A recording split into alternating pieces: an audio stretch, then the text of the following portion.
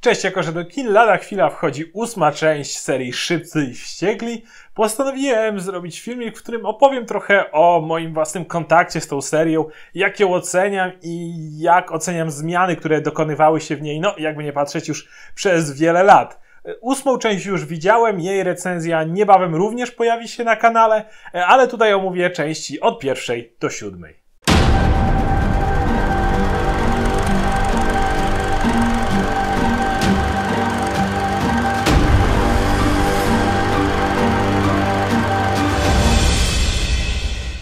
Mój kontakt z serią Szybcy i Ścieki zaczął się mniej więcej w roku, w którym do kin weszła część czwarta. Chcę zobaczyć w ogóle z czym to się je, nadrobiłem wtedy wszystkie trzy pozostałe, a potem wybrałem się właśnie na czwartą. Tak więc zacznijmy od samego początku. Pierwsza część uważam, że już na, na dzisiejsze czasy trochę się zestarzała. Nie jest to zły film, ale nie jest to jakiś wybitny film nie jest to wyjątkowo dobra rozrywka, taka, przy której cały czas będę się śmiał czy coś takiego, e, ale jak na rok, w którym powstał, kiedy było dużo zainteresowania wokół motoryzacji, dużo, była, było to dużo popularniejsze, że tak powiem, niż dzisiaj. E, na pewno ten film miał swoje miejsce. Przy okazji to jest, jeżeli ktoś zna film e, Point Break, to jest, wydaje się, taka ten oryginalny, a nie tę abominację, która wyszła jako jego remake później.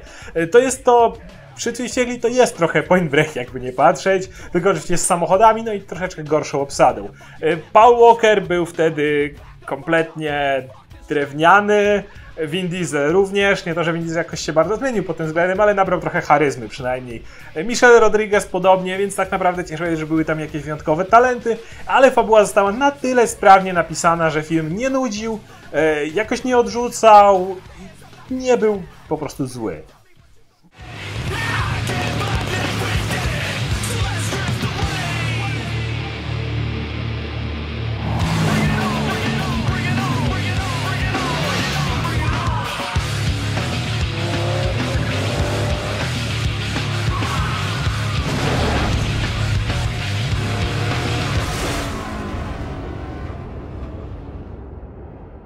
Co innego część druga, w której postać Doma graną przez Vina Diesla zastąpił Roman. Bohater, który został wprowadzony tylko po to, żeby krzyczeć i nic więcej, i mówić oczywiste oczywistości i na wszystko narzekać.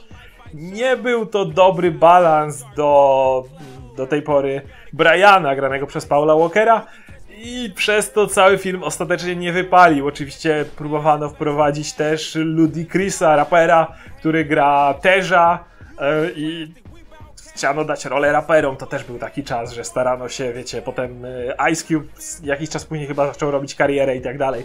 No ale to wszystko nie zgrało się w dobry film. Jest tam kilka efektownych wyścigów, ale całość wydaje mi się, że trochę za poważnie się bierze na to, jak bardzo jest to głupi film.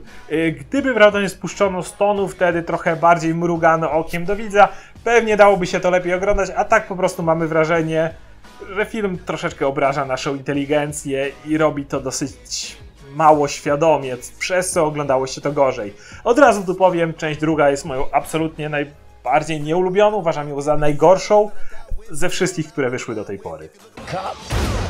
I was made for this.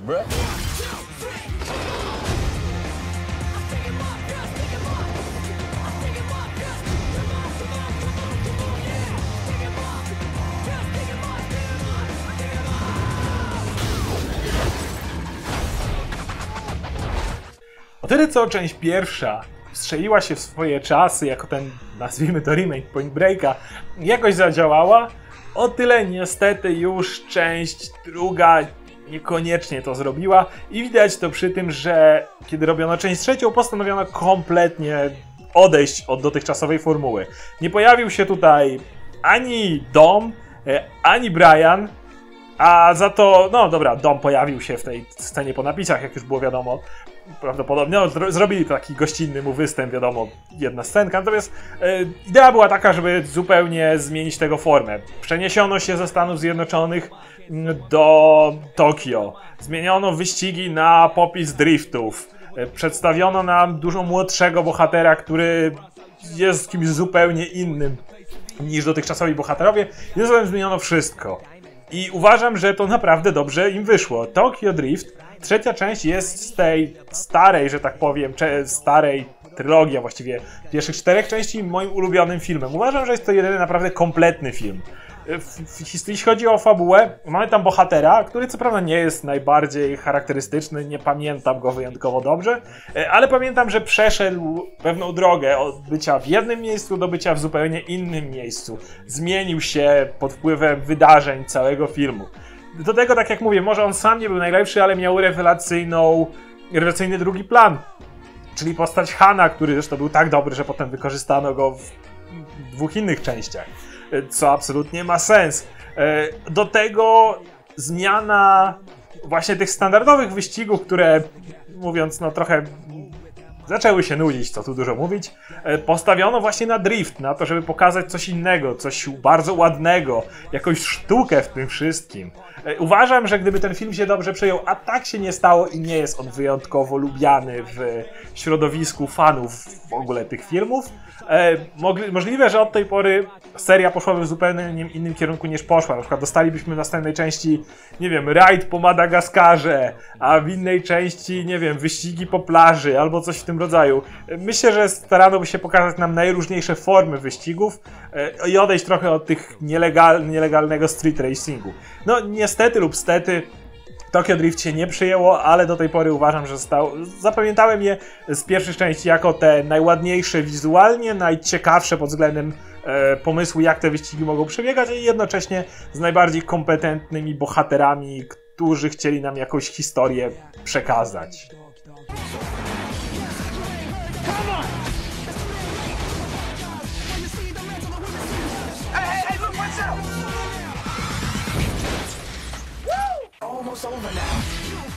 Część czwarta, którą zobaczyłem już jako pierwszą z Ściekłych w kinie, była powrotem trochę do korzeni. Wiadomo, Vin Diesel powrócił do, do serii i prawdopodobnie to jest jedyny powód, dla którego ten film powstał, ale też po nieobecności w trzeciej części wrócił Paul Walker i chciano nam dać znowu trochę tego, co mieliśmy wcześniej, czyli wyścigów po ulicy, jakichś zetarów z gangami, infiltracji ich i te sprawy. Ostatecznie mam wrażenie, że to jest taka zszywka dwóch pierwszych części, która jest lepsza niż druga, ale gorsza niż pierwsza i większość trochę nudzi. Może dlatego, że powrót do street racingu no, nie było na to wielkiego pomysłu, coś to odkryto bardzo na szczęście już w tej części i przy piątej trochę to zmienili. Mianowicie tak, dano nam te wyścigi, w których e, bohaterowie mieli cały czas aktualizowaną trasę przez GPS, Ponadto nie był blok, nie, ulice nie były blokowane, więc musieli ścigać się pod, przy ruchu ulicznym, co niby trochę to wzbogaciło, ale na dobrą sprawę wcale nie aż tak. I ten, na tym etapie film, ta seria stanęła, wydaje mi się, w martwym punkcie. Znaczy, od, nie dało się tak naprawdę już dalej z tego miejsca ruszyć. Tak, był cały ten numer z jazdą po tunelach i przewożeniem gangstera z granicy y, od, z Meksyku z powrotem do Stanów, po to, żeby mógł być tutaj aresztowany. Ale cały czas czegoś w tym filmie po prostu brakowało. Miało się wrażenie tej, tej wtórności i tak jak mówię, mam wrażenie, że ten film był trochę niepotrzebny. On powstał tylko dlatego, że Vin Diesel, któremu chyba najwidoczniej nie poszła kariera przy Riddikach, bo Kroniki Riddika nie były najlepiej przyjętym filmem, e, no postanowił może znowu tutaj wrócić i dlatego odkurzono, wyciągnięto powiedzmy trupa z szafy, jakim, było, jakim byli szybcy i wściekli.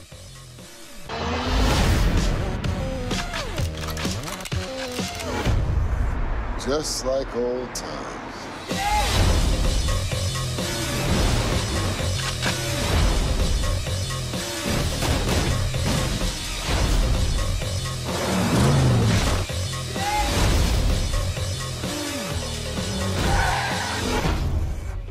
So, you know each other? He used to date my sister. You're a lucky man. How's that? You're still breathing.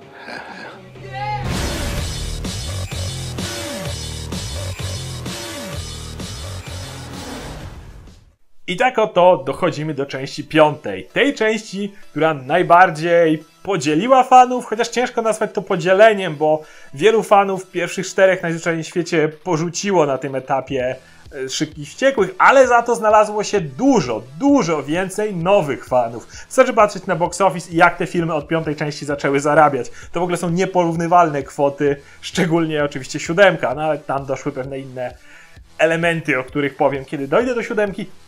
Natomiast trzeba przyznać, no ten film zmienił po prostu wszystko. kompletnie zrezygnowano z jakiejkolwiek, jakiejkolwiek śladu wiarygodności, który istniał do tej pory, chociaż umówmy się, wiele rzeczy, które ci bohaterowie robili już do tej pory było miało, wiar mało wiarygodnych, no ale jednak ciężko mówić tu już o jakiejkolwiek, e, jakimkolwiek przestrzeganiu praw fizyki, kiedy dwa sportowe wozy ciągną wielotonowy safe po ulicy z naprawdę dużą prędkością, wyrabiając się na zakrętach i idealnie nim sterując, tak jak mają tylko ochotę. Więc oczywiście zrezygnowano z tego wszystkiego, do tego dodano e, dziwne wytłumaczenie, że wiecie, gość, który całe życie był e, no, gościem, który ściga się w nielegalnych wyścigach i co najwyżej majstrował przy samochodzie, nagle jest w stanie walczyć wręcz z wyszkolonym wielkim agentem e, FBI, czy tam jakiejkolwiek, do jakiejkolwiek służby grany przez Dwayna Johnsona agent należał. Nagle ta cała drużyna, bo właśnie postanowiono wyciągnąć wszystkich bohaterów z poprzednich części, tych oczywiście, którzy byli jakkolwiek zapamiętani i zmontować z nich drużynę, zrobić z tego tak zwany heist movie, w którym mają wielki plan, dzięki czemu kogoś okradają, coś wykradają. Uważam, że wyszło to rewelacyjnie i jak wspomniałem, cała ta drużyna nagle nabrała dużo większych umiejętności niż robili do tej pory. Tak, Brian już pracował, już był wcześniej policjantem, już prowadził infiltrację, więc można powiedzieć, że on jeszcze coś z tym robił, no ale Dom był zwykłym mechanikiem, który ścigał się na ulicy, ale już tutaj postanowiono, że będzie miał kompetencje na tyle duże, żeby, wiecie, prawie ratować świat. Do tego oczywiście doszliśmy w późniejszych częściach. Jednak nie, w żaden sposób nie przeszkadzało to z bawienia się tym filmem. I do dzisiaj uważam, że piątka jest najlepszą częścią. Samo zbieranie drużyny w hejstach jest na tyle fajne, że mamy szybkie przedstawienie tych bohaterów dla ludzi, którzy mogli nie oglądać pozostałych części, więc piątka jest też świetnym miejscem, żeby w ogóle wejść w tą sagę. Po drugie, kompletnie przestano oszukiwać widza, próbować jakkolwiek pokazywać, że wszystko dzieje się na serio. Mrugają do nas okiem przez prawie cały ten film, a w kolejnych częściach jeszcze bardziej. E, I nikt nie obraża naszej inteligencji. Jakby my wiemy, że to nie jest na serio, twórcy tego filmu wiedzą, że to nie jest na serio i pokazują nam, że to nie jest na serio i to akceptuje, nie ma tak zwanej ściemy, która kompletnie mnie poraża w niektórych filmach, które pokazują, jak to są mroczne i poważne, a tak naprawdę są kompletnie głupie. Wcale nie mówię o żadnym konkretnym filmie. E, I teraz, kiedy oczywiście przejdziemy jeszcze do obsady która się nam bardzo rozrosła, bo zawsze to była jedna, dwie osoby, plus jakiś tam drugi plan. Tutaj oczywiście Paul Walker i e, Vin Diesel byli głównymi bohaterami, dalej piątki, szóstki i jeszcze siódemki, e, ale pojawił się człowiek charyzma Dwayne The Rock Johnson. Najlepszy dodatek do tej sagi, jaki mogli sobie tylko wyobrazić. Ciekawostka o Dwayne Johnsonie. Ten gość zawsze sprzedaje filmy. Jeżeli jest on pierwszoplanowym bohaterem, jeżeli jego gęba jest na plakacie, że jest on głównym bohaterem filmu, to nawet kiedy lata helikopterem i ratuje ludzi, wiecie, przed trzęsieniem ziemi, nawet kiedy gra Herkulesa w jakiejś dziwnej adaptacji tego wszystkiego, ludzie i tak idą zobaczyć ten film i te filmy nie tracą pieniędzy. Nie jest on najbardziej kasowym aktorem w Hollywood, jak Robert Downey Jr., który oczywiście gra w Iron Manach czy innych filmach Marvela i przekracza to miliard, ale jednocześnie jest on bezpiecznym aktorem, bo jego charyzma jest wystarczająca, żeby po prostu przyciągnąć ludzi do kina i, i, i na tylu się fanów znajdzie, że zawsze jego filmy obejrzą. Tutaj wtrącenie, e, była ta, był taki, e, taka komedia z Wahlbergiem i Farelem o e, The Other Guys bodajże, że byli oni nieudacznikami, detektywami, która była z grubsza kompletnie głupia, ale w pierwszej jej części e, dużo było Rocka i Samuel Jacksona, którzy grali tych super twardych gliniarzy, którzy przy okazji demolują całe miasta i tak wszyscy ich kochają. Gdyby był o tych dwóch detektywach ten cały film, to uznałbym, że, to za świetną komedię, bo śmiałem się jak cholera, szczególnie jak skoczyli z dachu i się po prostu zabili, bo uznali, że są takimi macho. Więc i to był, po prostu ryczałem ze śmiechu, a dalej ten film kompletnie padł na twarz i nie było w nim raczej nic śmiesznego, ale tylko pokazuje jak on, no Samuel Jackson to Samuel Jackson, e, ale jak, e, jaką Rock ma właśnie charyzmę, jaką ma prezencję na ekranie i jego przede wszystkim umiejętności komediowe. If you're gonna survive, stop thinking like a cop. You're my world now.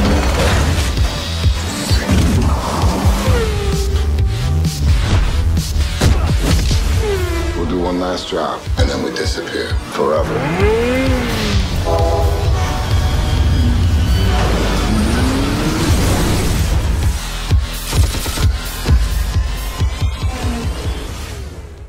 Część szósta to po prostu podbicie wszystkiego, co było wcześniej, podniesienie tego do jeszcze większego absurdu.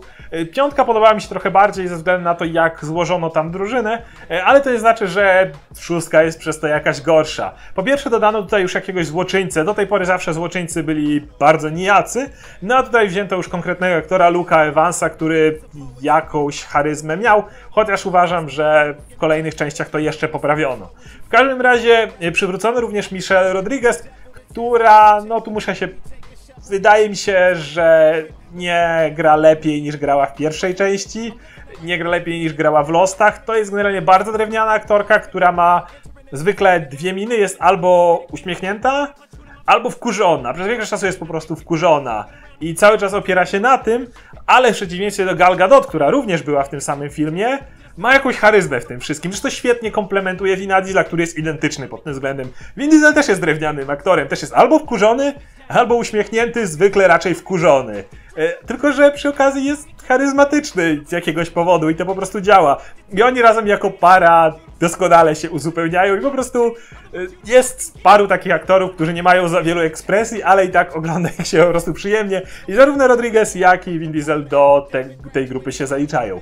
Ponadto Część szósta, tak jak mówię, podniosła absurd. Dostaliśmy samochód, który był w stanie kosić ruch uliczny. Dostaliśmy walkę z czołgiem. E, Także to była część, która wyraźnie jakby ucementowała styl, styl filmu, w jaki przeobraziła się seria Szybcy i Wściekli, czyli więcej, mocniej, szybciej, absurdalniej e, i z dodatkową ilością absurdalnych one-linerów czy innych dialogów, które są tak pompatyczne, ale jednocześnie nikt nie oszukuje nas, że są one mówione absolutnie na serio. Warfare. This is not what we do.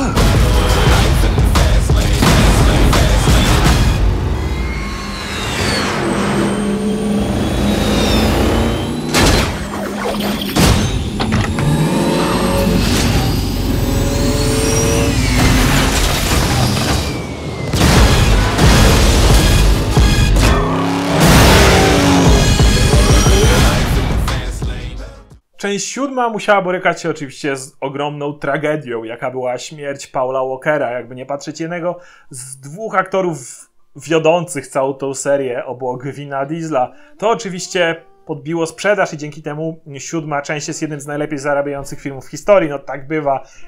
Śmierć daje publikę. No, tak samo jest nie wiem, muzyką, kiedy jakiś, jakiś muzyk ginie, zwykle jego sprzeda- e, sprzedaż jego płyt przez parę tygodni jest wiecie, to są top sellery. Niestety tak jest i w tym filmie też tak było. Na pewno wielki sukces tego filmu jest z tym powiązany. Odsuwając jednak to na bok, trzeba przyznać, że sama śmierć Paula Walkera na pewno utrudniła skończenie tego filmu. Y, oczywiście mieliśmy tą półroczną przerwę w ogóle w zdjęciach. Y, część trzeba było dorobić komputerowo i tutaj wiem, że brat Paula Walkera zastępował go w odpowiednich miejscach. Y, Tych, gdzie trzeba było coś dograć, oczywiście. Trzeba było nakrę- trochę zmienić scenariusz, żeby jednak Paul Walker nie występował we wszystkich scenach, w których miał występować. Zmienić oczywiście zakończenie, w którym e, Paul Walker musiał, jego postać Brian musiał raz na zawsze pożegnać się z tym życiem i oczywiście zrobiono mu na końcu taki mini hołd z tym, jak jego drogi i doma się rozjeżdżają. Wszystko to trzeba było wrzucić do filmu, co jednak jest poważną i przykrą sprawą, a jednocześnie zachować dotychczasowy ton absurdu, która ta seria wprowadzała i tu myślę, że James Wan poradził sobie mistrzowsko. Mm, Przez te wszystkie problemy niestety część nie oglądało mi się jej tak dobrze jak piątki czy szóstki, ale cały czas bawiłem się na niej naprawdę dobrze, głównie dlatego, że dzięki temu, co James Wan tutaj zrobił, miałem wrażenie, że dostaliśmy prawie maczetę, prawie kolejny film Roberta Rodrigueza. Mamy wszystko. Samochody, które skaczą na spadochronach. Skok samochodem z jednego drapacza chmur do drugiego. W poprzednim filmie zapomniałem o tym jeszcze, warto wspomnieć o szóstce, tam samochody powaliły samolot, który startował z pasa. No ale tutaj mamy oczywiście zniszczenie helikoptera z samochodem, który, wiecie, skacze, ociera się o niego i w ten sposób go strąca. Mamy walkę pomiędzy Winem Dieslem a Jasonem Stathamem na klucze, na narzędzia, nic, niczym na miecze walczą dosłownie. No absurd po prostu wylewa się wszędzie. Że moja absolutnie ulubiona scena w całej sadze, kiedy Dwayne The Rock Johnson patrzy przez okno, widzi jaka tam się dzieje zadyma, patrzy na swoją rękę w gipsie i mówi do swojej córeczki tatuś musi iść do pracy, potem tak napina mięśnie, że gips po prostu pęka w jednej chwili, on zrywa gips i w ogóle bez żadnego bólu, wiecie, on, to jest, to jest The Rock, on nie czuje bólu, y, wy, wyciąga tą mega wielką spluwę po prostu, której fizycznie człowiek nie powinien w stanie nosić i wychodzi na ulicę i zaczyna pruć z niej do helikoptera, wiecie, człowiek kontra helikopter. To jest wszystko tak pięknie, głupie, tak cudownie, absurdalne, że no nie przestawałem się uśmiechać, póki te wszystkie sceny trwały. Jeszcze oczywiście nie można zapomnieć o Jasonie Stathamie, który wszedł tutaj jako złoczyńca i zadziałał naprawdę dobrze. To był tak naprawdę pierwszy prawdziwy badass, jeśli chodzi o złoczyńców tej serii. Dopiero w siódmej części, z całym szacunkiem dla Luka Evansa, dopiero w siódmej części teraz gościa, który jest prawdziwym zagrożeniem. Pierwsza scena tego filmu to jest Jason Statham, który wychodzi ze szpitala, w którym leży nie, niby jego brat, grany przez Luka Evansa i kiedy wychodzi na ulicę, widzimy tam totalną rzeź, totalną po prostu masakrę, ludzie leżą na jakieś samochody rozwalone i tak dalej, widzimy, że to jest badass, on po prostu wszystkich się w stanie rozwalić. I tu faktycznie naprawdę pierwszy raz złoczyńca był prawdziwym zagrożeniem.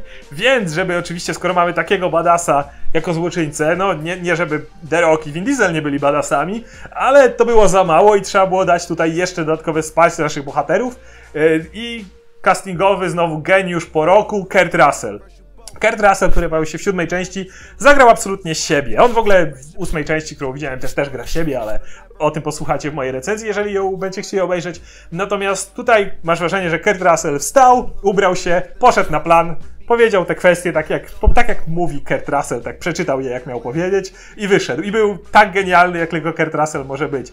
Jest, to jest gość, który tak bawi się swoimi rolami właściwie od zawsze. Znaczy wiadomo, kiedy był młodszy w ucieczce z Nowego Jorku, był oczywiście twardzielem, dużo większym, ale umówmy się, gości tak bawi się swoimi rolami praktycznie zawsze.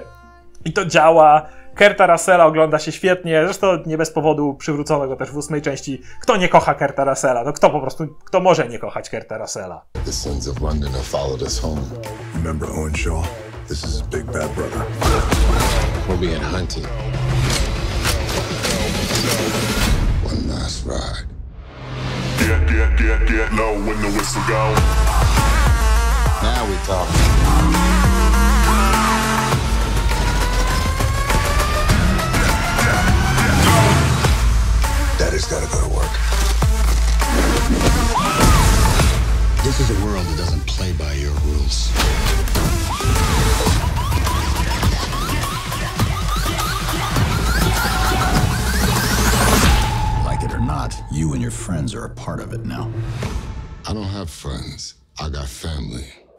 Niestety oczywiście przy siódmej części straciliśmy też postać Hana, bo to był ten moment, kiedy wreszcie jakby wszystko zazębiło się z Tokyo Drift i teraz wiemy, że za śmierć Hana odpowiada gość, którego grał Jason Statham.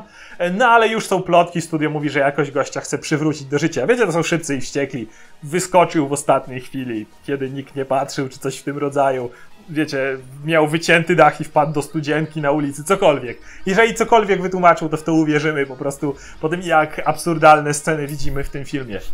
I podsumowując, cała ta saga do czwartej części mam wrażenie, że próbowała znaleźć swoją tożsamość, do czwartej części włącznie. Mieliśmy remake Point Breaka, mieliśmy taki film, w którym właściwie wsadźmy raperów i zobaczmy, czy, czy się sprawdzi. Mieliśmy próbę trochę bardziej pójścia w wizualne elementy tych wyścigów, e, przeniesienie się do innego kraju, czyli Tokyo Drift. Mieliśmy czwórkę, która była tak naprawdę powrotem do koszeni, ale w sumie nie wnosiła nic nowego.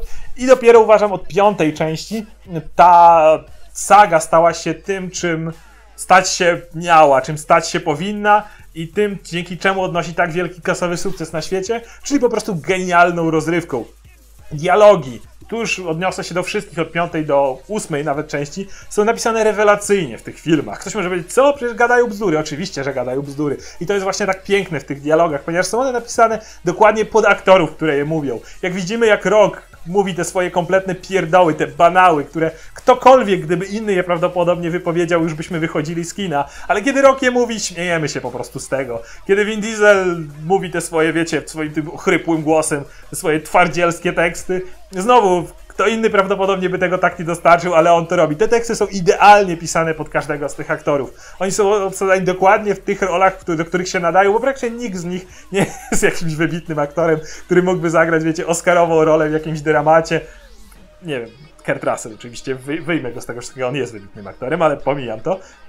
Ale dzięki temu, że dialogi zostały napisane dokładnie pod nich, dokładnie w ten sposób, y, żeby nie obrażać naszej inteligencji, żebyśmy my mogli bawić się razem z aktorami, którzy ewidentnie mają kupę frajdy na planie. Widzimy, jak oni sami śmieją się z tego, co robią i my śmiejemy się, jakby uśmiechamy się do nich.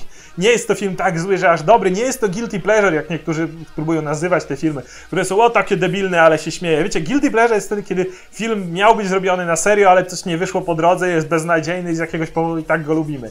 Te filmy, wszystko co jest z nich głupiego zostało zrobione absolutnie celowo i absolutnie tak, aby widownia się przy tym bawiła i uważam, że nawet w dzisiejszych czasach takich filmów brakuje. Mamy niby całą masę blockbusterów, ale jednak filmów, które są kretyńskie, ale z drugiej strony w sposób zaplanowany, jest naprawdę mało. Tych, które bazują na one-linerach. No, ja nie pamiętam filmów, które bazowały na one-linerach, przynajmniej żadnej serii filmów, od czasów Arnolda. Wiecie, Arnold był mistrzem one-linerów. Jego wszystkie Hasta la vista, I'll be back, czy Get to the Chopa, to wszystko oczywiście zapamiętaliśmy i to są piękne one-linery, które wszyscy potrafią powtórzyć.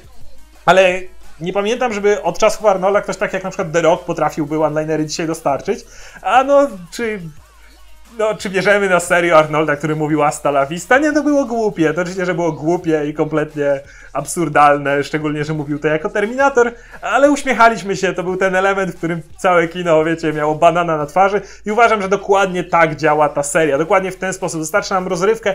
Zapominamy o, o tych filmach, kiedy, wiecie, tydzień minie, już nikt o nich pewnie nie pamięta, ale na sali kinowej, kiedy, kiedy siedzimy tam najlepiej ze znajomymi, mamy kupę frajdy, po prostu samą radość, śmiejemy się razem zwykle z całą salą kinową i dokładnie o to w tym wszystkim chodzi i takie filmy są absolutnie potrzebne. Dajcie mi znać, jak wy oceniacie serię Szybkich Wściekłych, czy należycie do tej grupy, dla której seria skończyła się na czwartej części wyłącznie, bo lubiliście aspekt wyścigów, czy tak jak ja wolicie cały ten absurd, całą tą celową głupotę i masę one-linerów od części piątej. A może lubicie wszystkie te części? A może któraś z was, któraś z nich tak... Moją ulubioną osobiście jest piąta. E, nie wiem, jeżeli lubicie bardziej może którąś późniejszą, daj, piszcie mi w komentarzach. E, I oczywiście, jeżeli macie ochotę posłuchać, jak mówię o części ósmej, e, moja recenzja lada chwila powinna pojawić się na kanale. Do następnego razu. Cześć.